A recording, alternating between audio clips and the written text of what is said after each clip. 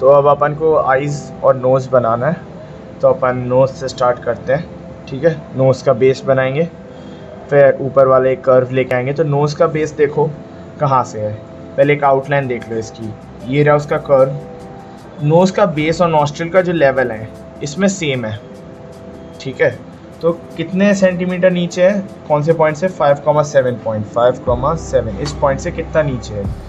इस पॉइंट से है वन सेंटीमीटर नीचे। ठीक है? मैंने वन सेंटीमीटर नीचे से मार्क किया। अब वन सेंटीमीटर नीचे पे मैं एक स्ट्रेट लाइन खींचूँगा, हल्के से। ऐसे पेन पीछे पकड़ो और एक लाइन खींच दो। ये क्या हो गया? इस लाइन पे मतलब बेस है अपना। अब ये कितने पे कट कर रहा है इसको? ये भी वन सेंटीमीटर तो यहाँ से वन सेंटीमीटर आया। और यहाँ से कितना राइट है ये? ये हुआ वन पॉइंट थ्री सेंटीमीटर ठीक है? तो 1.3 मैंने यहाँ मार्क करा। ओके तो मुझे जो लाइन पे मार्किंग्स चाहिए थी, वो तो मिल गई। लेकिन अभी भी काफ़ी नहीं है मार्किंग्स क्योंकि ये कर्व है, कहाँ तक जा रहा है? तुम चाहो तो ऐसे ही लंबा सा कर्व ला सकते हो, तुम चाहो तो स्ट्रेट लाइन खींच सकते हो। तो ये कर्व ये है, ठीक है? ये और इस, इतना डिस्टेंस मतलब ये जो लाइन आएगी अगर कर्व की, और इस लाइन के बीच में कितना डिस्टेंस होगा? तो इसके लिए क्या होगा? यहाँ से लेके पॉइंट सेवन है।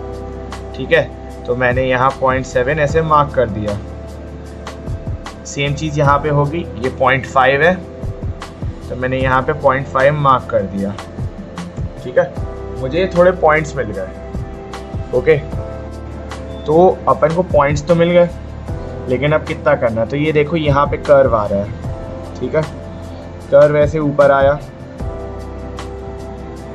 ये कर्व को इसके ऊपर ही रखना है। ऐसा नहीं कि ये कर्व लेफ़्ट भाग रहा है और तुम्हारा ये यू शेप का कर्व राइट भाग रहा है। नहीं। जैसे ये है, ऊपर की तरफ़ जाता हुआ इतना अब एक बार ये और देख लो कि ये जो नॉस्ट्रिल का जो कर्व है, ये इस लाइन से कितना नीचे है? ये आया पॉइंट फोर फाइव नीचे। दोनों है लगभग लगभग पॉइंट फाइव सेंटीमीटर नीचे। ठीक है? तो point five centimetre point five centimetre ठीक है? और इसका स्टार्टिंग पॉइंट कहाँ पे है? ये है पॉइंट फोर सेंटीमीटर इसका कितना हो गया ये? पॉइंट टू के आसपास। तो ये क्या किया मैंने? मेरा ये यहाँ गया और यहाँ से ऐसे कर्व हो गया। मेरा ये यहाँ गया ऊपर की तरफ़, ठीक है? और यहाँ से ऐसे कर्व हो गया। और ये नॉस्ट्रल जो रहती है, ये बनाई मैंने कर्व करके। नॉस्ट्रल रहती है, ये बनाई मैंने ऐसे कर्व करके। देखो, अभी आराम आराम से बनाना, क्योंकि अगर कुछ गलती हुई ताकि आराम से इरेज कर सको बाद में। ओके फिर यहाँ से कर्व करते हुए लाएँगे अपन, थोड़ा बेस फ्लैट रखा, ये ऊपर की तरफ़ आया, यहाँ कर्व हुआ, और यहाँ इस पॉइंट से निकलेगा, थोड़ा ऊपर की तरफ़ निकाल देना ऐसे ओके सेम चीज़ यहाँ होगी, यहाँ से ऐसे कर्व करते हुए आएगा धीरे धीरे और ये ऐसे कर्व हो जाएगा। ओके इस तरीके से अपनी नोज़ बन जाती है। अब एक चीज़ और करनी है, हल्का सा यहाँ पे से नीचे की तरफ़ कर्व करना, हल्का सा यहाँ पे से ऐसे नीचे की तरफ़ कर्व करना, इस तरीके से अपनी नोज़ का बेस बन जाता है। ओके इतना बना लो अब। तो आईब्रोज स्टार्ट करनी है अब अपन को। तो आईब्रोज देखो कहाँ से आ रही है। पहले तो ये पॉइंट थोड़ा six comma five six comma five यहाँ आया। इधर से निकल रही है मतलब इसके थोड़े आगे से। थोड़ा ऊपर उठ रही हैं और यहाँ से निकल रही हैं। ये पॉइंट कितना ऊपर है? ये पॉइंट है पॉइंट थ्री सेंटीमीटर ऊपर। तो पॉइंट थ्री यहाँ मैंने मार्क किया। यहाँ आके एंड हो रही हैं ये। यहाँ आके एंड हो रही हैं। ये है पॉइंट फोर सेंटीमीटर ओके तो ये मैंने पॉइंट फोर सेंटीमीटर ऐसे मार्क किया। फिर मैंने ये देखा कि कितने ऊपर से निकल रहे हैं ये। ये इस पॉइंट के कितने ऊपर से निकल रहा है यहाँ पे? देखो, एक बार दोबारा बोल रहा हूँ, बहुत डार्क ऐसे आउटलाइन नहीं बनाना है। ठीक है, वो है पॉइंट सेवन तो ये मैंने पॉइंट सेवन यहाँ मार्क किया।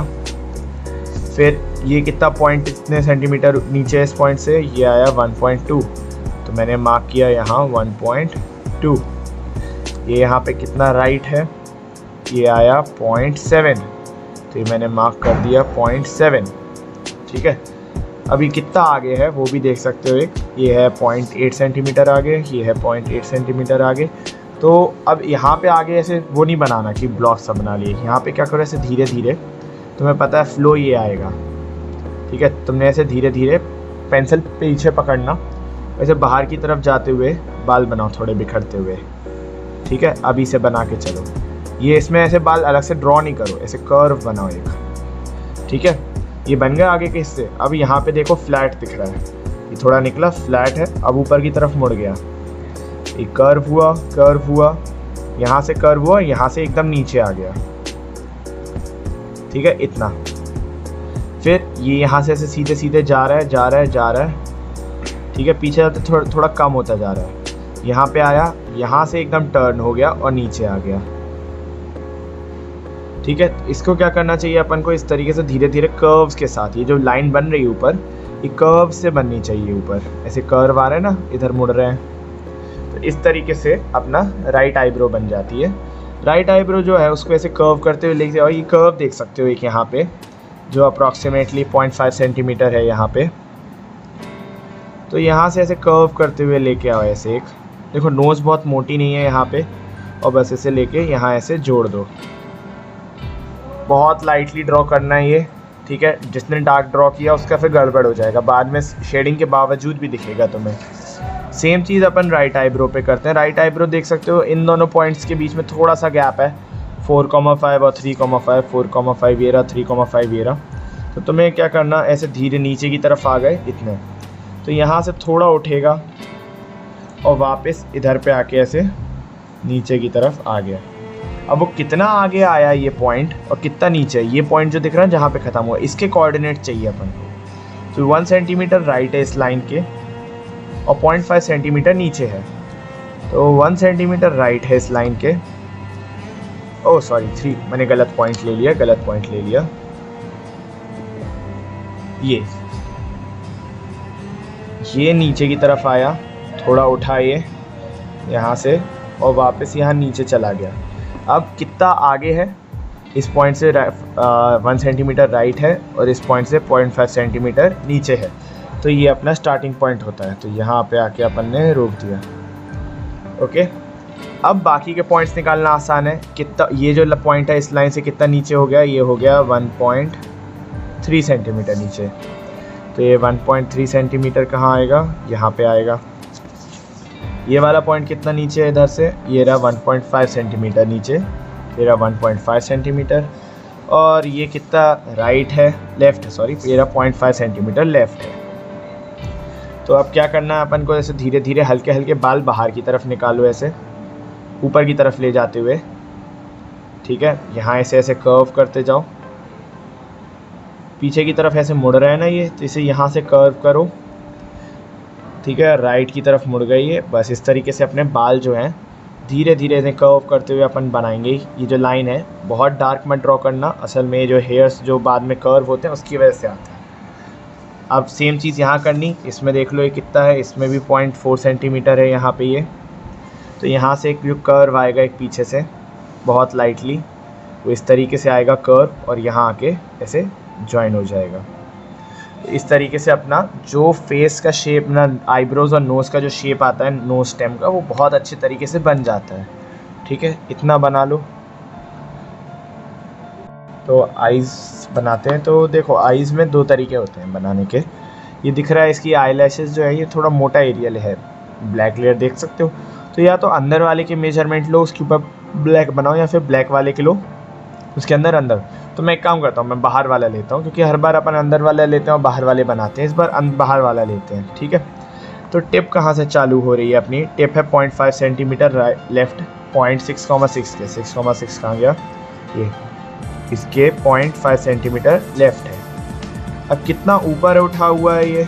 इसके? तो वो है पॉइंट सिक्स सेंटीमीटर ऊपर। तो पॉइंट सिक्स सेंटीमीटर ऊपर हो गया। ओके? फिर ये जो एंड पॉइंट है, ये कितना है? ये है पॉइंट फोर सेंटीमीटर। ओके? और जो ये कर्व आ रहा है, वो लिटरली जस्ट इस लाइन पे है। तो और एक और, ये ऊपर वाले जो कर्व आते हैं, ये है पॉइंट नाइन सेंटीमीटर ये भी है पॉइंट नाइन सेंटीमीटर तो पॉइंट नाइन और पॉइंट नाइन पर मार्किंग्स लगा दूँ मैं पॉइंट नाइन पॉइंट नाइन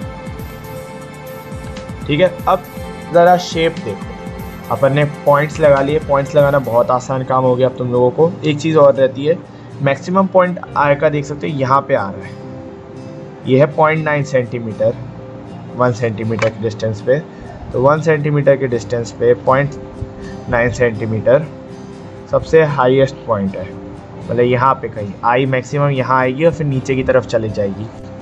तो जो अपन का रहता है, पहले तो सिंपल सा एक कर्व आएगा, जो सारे पॉइंट्स को ज्वाइन करेगा, ऐसे आया और अभी नीचे की तरफ़ जाना स्टार्ट हुआ। नीचे की तरफ़ गया तो एक बार ध्यान रखना, इसे थोड़ा ऐसे कर्व फॉर्म में एंड करना, ऐसे ऊपर की तरफ़ कर्व करते हुए। ऐसा नहीं कि बस नीचे ला छोड़ दिया। उसे एक अपवर्ड फेसिंग कर्व की तरफ़ एंड करना। अभी यहाँ पे आए। ओके ऐसे कर्व किया। ठीक है? टिप बन गई अपनी। ऐसे धीरे से ऐसे डाउनवर्ड फेसिंग कर्व बनाया है कि ये डिस्टेंस है। डायरेक्ट इस लाइन पे नहीं है स्टार्टिंग पॉइंट ठीक है? थोड़ा आगे गए। अब इस लाइन पे चिपकाया अपन ने ये लाइन ठीक है? थोड़ा इस लाइन के साथ चला। और दो कर्व हैं। ये मैं पहले अंदर वाला कर्व लिया हूँ नीचे से। तो ये यहाँ पे आके रुक जाएगा। इसके नीचे एक और कर्व आएगा। ठीक है? धीरे से, इस लाइन के थोड़े नीचे। वो इस लगभग लगभग इस पॉइंट से निकलते हुए यहाँ पे ज्वाइन होगा, ऐसे। ठीक है? अभी अपन को ये ऊपर वाली लेयर बनानी है, इसलिए मैंने अभी एकदम पूरे ज्वाइन नहीं करे हैं। तो इस तरीके से अभी ऊपर वाली लेयर बनाता हूँ मैं। स्टार्टिंग में पतली होगी एंड में जाते जाते मोटी हो जाएगी ये। ठीक है? इस तरीके से, और ये ऊपर। देखो, ये बहुत पेशेंस का काम है इसमें। तो आराम से बनाना। ये हल्का सा एक कर्व जो नीचे आता है आँखों के, ये एक कर्व जो ऊपर की तरफ़ है अपने आँखों के।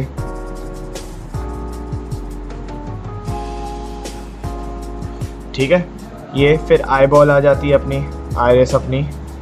आयरस कर्व बनाने। से एक सर्किल बना के मत छोड़ो, ये कर्व फिर यहाँ पे इसका हिस्सा आया और फिर यहाँ से कर्व हो गया ये।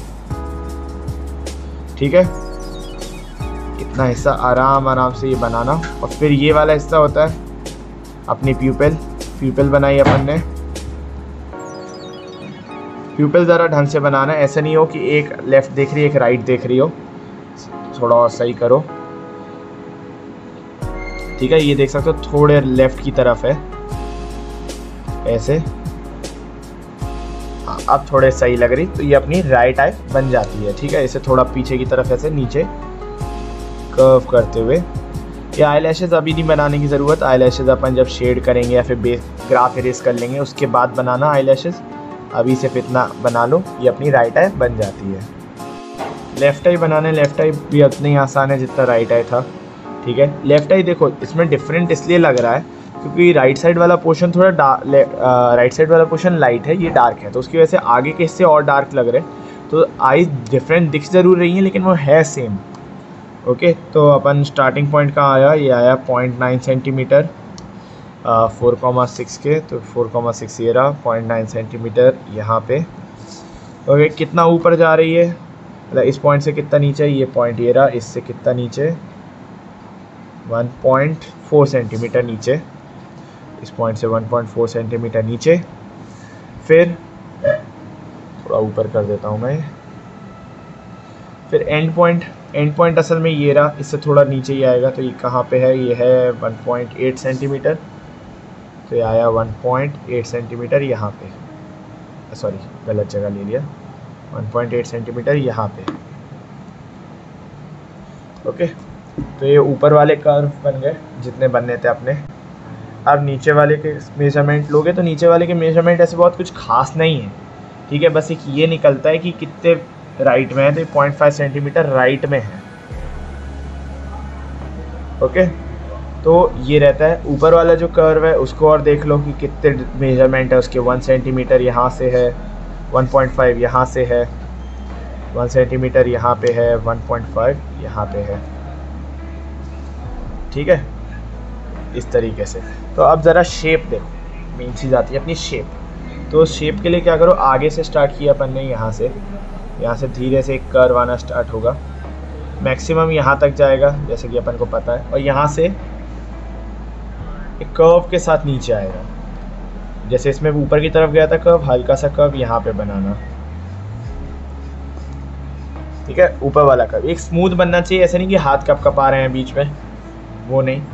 ठीक है? नीचे वाला आया। यहाँ पे वो अपना जो टिप में वी शेप बनता है, वो बना। यहाँ से निकला।